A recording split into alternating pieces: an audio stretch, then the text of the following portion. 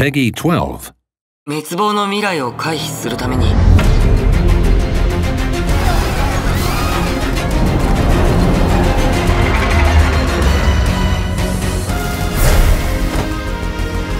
の時代も奴らに狙われている。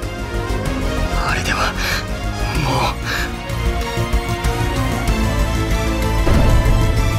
攻撃が始まるまでおそらく4年助かる方法はもうないのかもしれない。この未来を受け入れるわけにはいかない。騎兵を持ち帰り未来を変えるのだ。もったいぶるな。狙いは何だ？世界を滅ぼす者の阻止。俺たちが軍人として覚悟を見せる時だ。頭数だけで私に勝てるとは人類を守りに来たんだ。こっちは俺に任せておけ